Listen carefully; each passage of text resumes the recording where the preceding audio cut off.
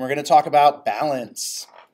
So we started to talk about some of the principles in balance already throughout the semester, and you'll start to see again how a lot of the stuff that we've covered throughout the semester um, relates and builds on each other and is in use um, in balance, right? So basically, balance is a distribution of visual weight within a composition, right? Whether it's symmetrical, asymmetrical, um, radial, etc. We'll get into the specifics in a little bit. Um, but essentially, um, balance is based off of an axis, some kind of axis, which is a line of reference um, for uh, around the composition is balanced, right? If that makes sense. Um, a lot of times for a symmetrical piece, it's right down the middle, vertical, um, a vertical line down the center of the piece. In this case, the axis is not down the center of the piece. It's a little bit off to the right-ish. So we basically have this axis right here. Um, and then you have equilibrium, which is visual balance between opposing compositional elements. So for example, in this case, the very dark line of figures that we have walking in the rain versus this essentially negative space, right? So we have a visual balance, right, between the heavy dark figures and the rain and this light, sort of more washed out background, right? So even though this is asymmetrical, we still have a sort of even distribution of visual weight, right? And so these are the kind of things that we're going to start to talk about um, today. Um, generally, when equilibrium is lacking, which can be done with a purpose, um, it sort of creates that. I always sort of I hate to say uneasiness, but that kind of like tension or uneasiness, that imbalance, it kind of throws you off a little bit. Um, as in this example here, and we'll get into more detail. Um, again, equal distribution of visual weight. Uh, most compositions, if not all, are either balanced consciously or unconsciously, right? As, as creators, as artists, um, or even just as humans, we have a tendency to like want to balance things visually. Um, so whether we're doing it consciously or unconsciously, um, most, if not all, compositions have some sort of balance within them, right? Um, in this case, we have an example of imbalance, so this unequal distribution of visual weight. Um, so you can use imbalance in your compositions to create that tension, um, to enhance a theme or topic. Um, so you have, if you have a, a, composition with more weight on the bottom, it presents as a little bit more stable, a little more calm. Um, when you have more weight on top, it presents as relatively unstable. So like in this composition, where we have this is more top weighted, and then you have where the bottom there's less elements. It sort of gives this sense of tension, unease, like these things are going to topple over. Kind of like when we talked about in compositions, uh, I think it was last presentation or presentation or so ago, when we talked about creating that tension, creating a dynamic layout, a sense of movement kind of thing. You can use balance to do that as well. There's generally four types of balance symmetrical, asymmetrical, radial, and crystallographic, which is an all-over pattern, we'll get into specifics of all of these. Symmetrical balance or bilateral symmetry, uh, generally they're the easiest to recognize and see. Basically things are the same on the right and left sides. Um, in this case, in our example, um, we have our photograph of Audrey Hepburn. We have an unedited and an edited version. So an unedited, generally the human face is symmetrical generally. Technically, it's not. Um, technically, it's asymmetrical. The human form is usually asymmetrical. So you can see even here, one earlobe is a little bit lower than the other. The eyes are slightly different. The sides of the nose are technically different, that whole thing, whatever. But in general, the human face, body, etc., is a, a symmetrical or an example of symmetrical balance. And then we have our edited version here where they've literally copied and flipped one side of her face and had made have made it completely symmetrical, which is honestly a little bit off-putting um, when you are looking at the human face, right? A human face should not be like perfectly symmetrical. It's a little bit weird. It looks like it definitely looks. I don't know. At least to me, I find it off-putting. It looks a little bit like it looks edited, and it looks not real, right? Um, symmetry has a tendency to unify, right? Um, another term is formal balance. Uh, this type of symmetry is also called classical balance. Um, generally, classical balance or formal balance creates that feeling of strength, stability, permanence. Um, it gives sort of like a sense of calm, steadiness, etc. It's usually used in architecture um, more often than not government buildings and churches. It's like when you have government or religion, you want that sort of sense of stability, strength, etc. So in this case, we have our church pulpit here. Everything, if you drew a imaginary line down the center of this, aside from the text, it's pretty well symmetrically balanced. Lots of horse, uh, lots of strong horizontal lines, uh, strong vertical lines to give it that sort of sense of stability. Um, but again, sort of when you have buildings, when you have architecture, architecture that are sort of symbols of power usually um, or control, you have that sort of symmetrical balance, right? That formal classical uh, symmetrical balance. And then in art here, uh, many things in nature are symmetrical, but we talked about the human face, um, some leaves, the way some vegetables grow, etc. Um, there is, uh, I always forget if it's broccoli or cauliflower, but there's a specific type of cauliflower or broccoli that grows in a fractal pattern, which is kind of really interesting. I'll pull it up later. Um, it's really weird. It looks like it 100% looks fake, but it's like this weird fractal. I think it's broccoli, but it grows in like this really interesting, almost golden ratio, ratio fractal kind of pattern. So we see it in nature all the time, right? Or in art when it's created. But usually, when successfully employed, uh, you can reinforce the subject or even become the emphasis of your piece. Like in this case, we have our symmetrical balance here where we've, or will they have, again, sort of like Audrey, they've copied and flipped our elements here. Um, and then we start to get into some elements that we'll talk about a little bit later. But we have a more unified balance in general with the large plane of texture that we have in the mountains here, balanced by a more out of focus. I mean, there's a few gradient spots, but a relatively less textured, more flat color. And then it's also blocked by these two darker corners with less, less texture in them. And then the text almost disappears um, to where the, the objects in the background almost become more of the subject, right? But this is a good example of symmetrical balance using texture and also value for the composition overall. Uh, then we could talk about asymmetrical balance. So basically asymmetrical balance or informal balance is where you have objects that are dissimilar having equal visual weight um, with each other basically. So here we've talked about it a little bit with how objects will relate to each other. So if you had uh, like a black circle, a black square, and a red circle. I always have to think when I say that. The black circle will relate to the red circle because it's also a circle, but it will relate to the square because they're both black. Um, so in this case, we have essentially three technically, but four groups of objects that are very, very dissimilar, right? But this whole composition as a sculptural composition is very well balanced, right? Visually. So we have our two smaller darker objects that carry more visual weight compared with this giant block that carries the most visual weight. But if you look at the two together, the two darker black objects, in general, there's like a sense of balance throughout the whole thing. And the same thing can be said with the red. It has less visual weight, but there's more of them at the top here. So it's essentially balanced out by the three boxes and this large rectangle-ish of red here. So overall, we've created a balanced composition, even though you have shapes that are relatively dissimilar, you have colors that are relatively dissimilar, but they'll relate to each other in a variety of different ways visually.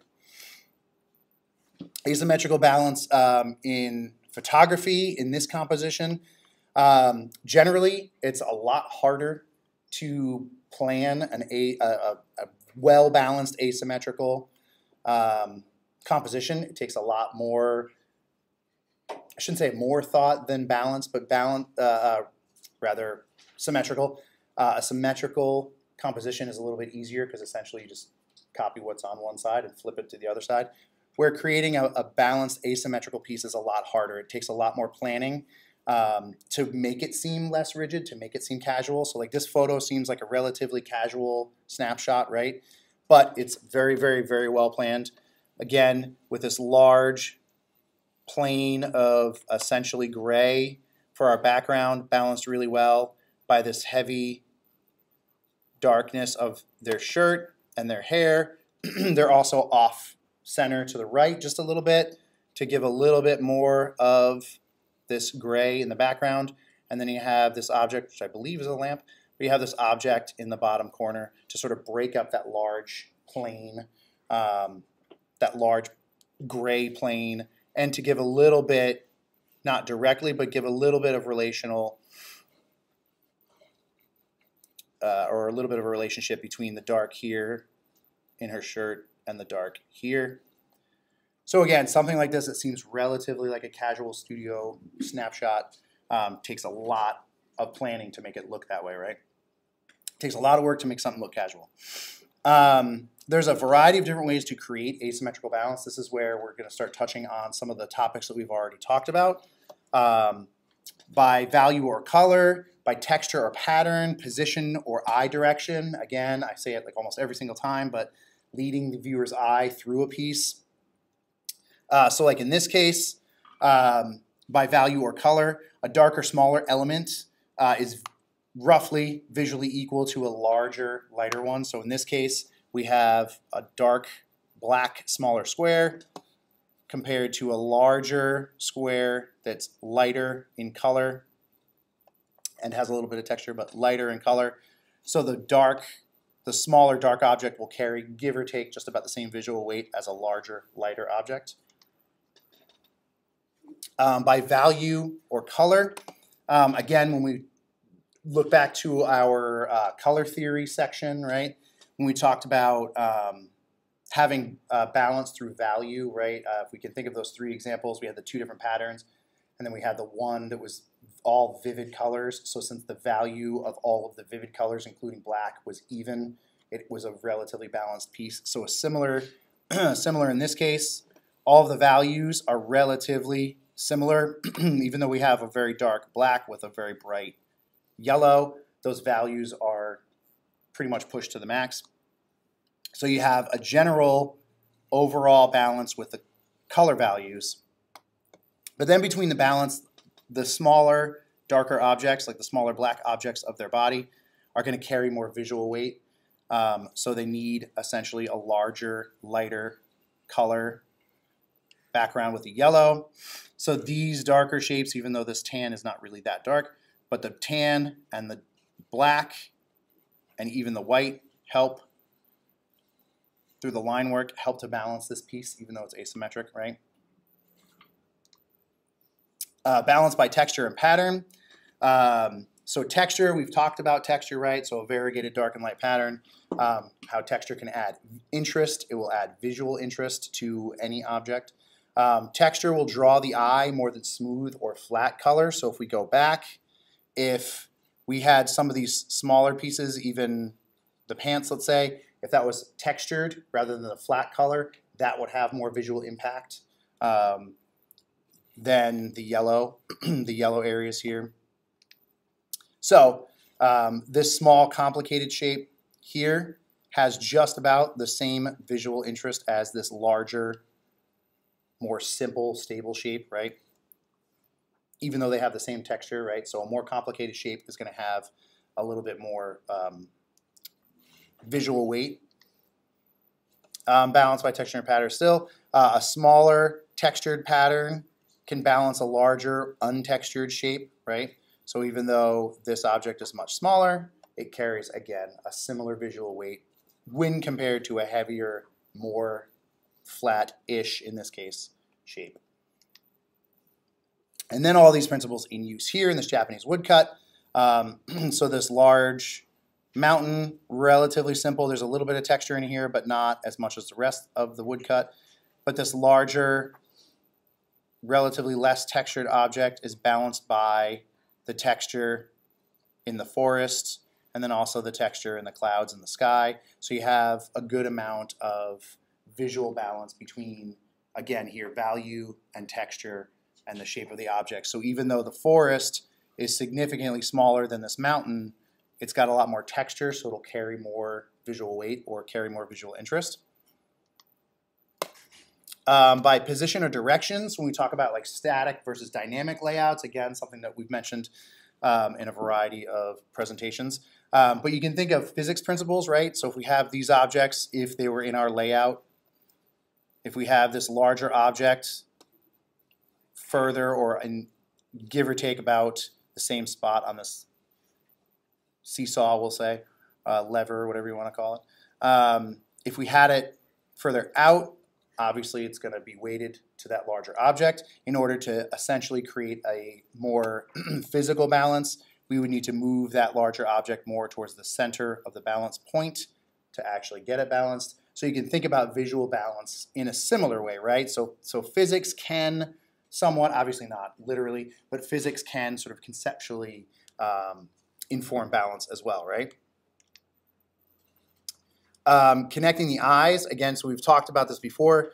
Um, this composition may seem weighted to the left with the two figures here and also larger than the one figure to the right. Um, it may seem um, imbalanced, right? But how they connect this piece and make it a little bit balanced goes back to, uh, I think it was our first presentation, um, the line work presentation. So we have this like implied line with the gaze between these two figures and even potentially an implied line between the gaze with these two figures or even him looking over here. And then we have actual lines of the arches here sort of connecting the viewer's eye from the left to the right or right to left, depending on how you're reading it. Um, so you're connecting the eyes through the piece to create a visual balance through leading the viewer's eye through the piece, right? Through line work in this case, right? Generally, to achieve asymmetrical overall balance, um, there's usually more than one method in play at the same time. Um, you rarely just have one of these elements. Um, again, even though we're talking about line work here, we have implied lines versus physical, for lack of a better word, physical lines, right? So even there we have two different types of line work helping to create balance here. Here we have a lot going on. We have differences in texture between the top and the bottom of this piece. You have this large area of darker blue with the texture of the clouds compared to the sand at the bottom that has not that it doesn't have any texture, but it has a lot less texture. It's a bit more washed out. You have this object, this car, that's white, doesn't necessarily have as many details as this sort of more dynamic curved canopy that has the horizontal lines giving it more detail, more texture. So you have these two elements balanced. You have, again, the asymmetrical balance between the figures here. You almost have a symmetrical balance between these two figures, and then you have these technically two figures. I honestly just noticed that there's a baby right there for the first time this presentation. I've showed this slide a whole bunch of times and I never noticed there was a baby. Um, but anyway, you see there's a lot of various things in play here. We have texture, line, um, value, detail, etc. to create a well-balanced asymmetrical piece in this case. So radial balance, one of the most common places that we see radial balance is in nature, in snowflakes, for example, um, or if you look at um, dandelions when they're little puff balls. If you actually look at the puff ball, it's like this perfect like radial, I don't know, radial sphere that has similar, this is a snowflake, but similar to this, where it has one central point basically. So radial balance has one central point that everything else radiates out from, right? And is roughly, I mean, it's technically asymmetrical, but it's roughly symmetrical, right? Because it's nature, there's going to be, you know, again, with our face, it's going to be, there's going to be some, some dissimilarities, but in general, relatively balanced, right? Um, there's a lot of um, aspects of nature in um, crafts like jewelry and ceramics. They're reflected a lot um, in those types of uh, applications. Radial balance is really common in cultural symbols. Uh, in this case, um, in Tibetan mandalas, um, or in um, rose windows of Gothic churches or other churches in general. Um, so you'll see here, these are some mosaics that are put together in this triad. So you have on the left and the right, you have your sort of central radius here, and then all of the design elements in a balanced way radiate off of those two here. In the right one, they balance off of this radial point to create this radially, I don't think that's a word, balanced piece, right? Um, it also comes up in architecture and city planning a lot, um, specifically with city planning. Um, so this is an old map of Italy. So we have our central plaza, right? Most cities, even downtown Bangor, we have our sort of central location. You have your downtown, you have your city center, and then everything kind of radiates or should radiate or build off of that, right? So we generally have a symmetrical, general radial balance, not quite radial in literally radial in city planning, but you can see how everything sort of radiates off of one central point, right? Uh, then we have crystallographic balance, right? So essentially an all-over pattern that is generally repeated. It doesn't mean that the elements are exactly repeated throughout, um, or the pattern is repeated exactly throughout, but you'll see similar elements, right? So you have these, in this case, you have these sort of sweeping circular objects or elements. And even though they're not exactly the same, they might be slightly different colors, there's a general sense of sameness throughout this entire piece, right? So it's basically symmetrical balance that constantly repeats throughout an entire um, composition. Um, a good use of this is Chuck Close. Um, Chuck Close is an American artist, um, relatively recently passed away. Um, this is some of his earlier work where he would essentially was wasn't quite pointillism. Um, he also did some photography and more uh, photorealistic fine art photography. He's more well known for this type of uh, art, where he creates these grids and essentially this crystallographic balance throughout his uh, entire pieces. Um, but he had um, uh, an, a spine. I, always forget the medical term, and I just looked it up. Um, a spinal occlusion, which was like essentially, I'm going to mess it up. And my wife, who's the nurse, is going to correct me. Um, basically, he had a, a blockage in a. am uh, pointing to my back, like you guys can see it. Um, he had a, um, a spinal hemorrhage, essentially, which paralyzed him. So he had to modify how he created art, right? So he had this sort of style already where he was kind of gridding out these portraits and doing this sort of crystallographic pattern, right? And then this was a little bit looser, or the, the pattern rather, it's a little bit looser as he started to have problems with his body and as his body started to sort of degenerate. Um, and then he had to come up with, and this is a sort of more recent one, and this is a little bit more recent, but you can see that it's almost like pointillism as you back further away, there's a little bit more detail. Um, but again, as his health sort of deteriorated, he had to come up with various ways to sort of continue the style. And the style got a little bit looser to the point where he was in a wheelchair and he like literally would basically tie or fix brushes to his hands and then work work from there. And then this other this right side of the slide is basically just to give you an idea of the sense of scale of his pieces. Um, this is fairly standard-ish, maybe even bigger for a lot of Close's work. Um, as you can see, the gentleman here looking at the piece. These are, I would say, relatively small for a lot of his work. Um, but I wanted to show you sort of a more contemporary use of sort of this crystallographic pattern um, used in contemporary art.